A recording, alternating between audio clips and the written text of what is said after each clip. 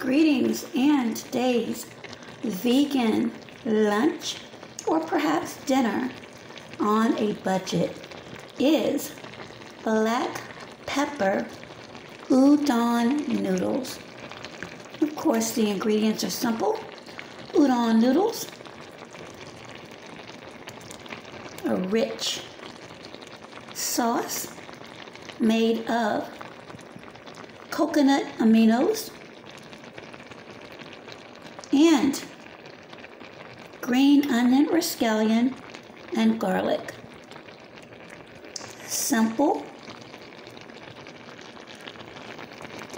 easy to prepare and store, and ready in under 30 minutes.